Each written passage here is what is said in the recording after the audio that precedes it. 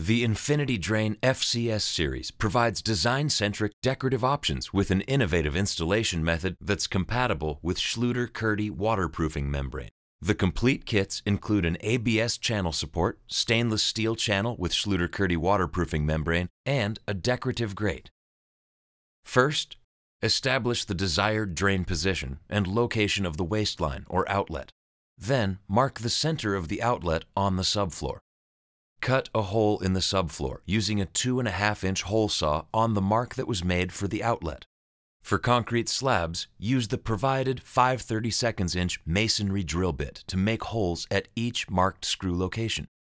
Lay water-resistant paper over the subfloor, staple into place, and make a cutout for the outlet hole. Then lay wire lath, staple into place, and make a cutout for the outlet hole in preparation for the primary mortar bed. Install the ABS channel support. Ensure the ABS channel support is assembled and place on the subfloor in the desired location. Ensure the drain channel support is level. Then use the screws provided, blue screws for concrete, stainless steel screws for wood, to secure the drain through the holes in the ABS support assembly. If drain channel support is not level, use the shims provided. Insert the shims between drain channel support and subfloor while driving the screws through the holes and into the subfloor. Ensure the drain channel fits into the drain channel support by dry fitting the drain channel before proceeding.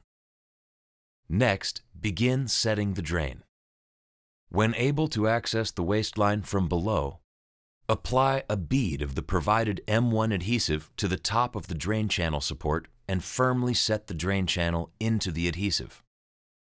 Connect the outlet of the drain channel to the existing waste line using a 2-inch DWV no-hub rubber coupling and tighten both hose clamps of the coupling. Be sure to protect the Schluter-Kerdi membrane to prevent mortar from coming in contact with it.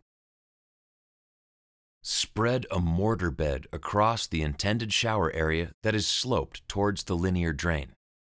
Ensure that the slope begins flush to the edge of the stainless steel channel. Complete all waterproofing connections as per Schluter installation instructions for Schluter-Kerdi membrane the Kerdi membrane collar on the FCS 65 channel is applied to the surrounding Schluter-Kerdi membrane using Schluter set, all set, fast set, or unmodified thin set mortar. After waterproofing is completely dry, apply thinset directly to the waterproofing using the appropriate trowel. Lay finishing material into thinset. The finishing material must be applied over the waterproofed channel flange and stop before crossing over the inside of the channel.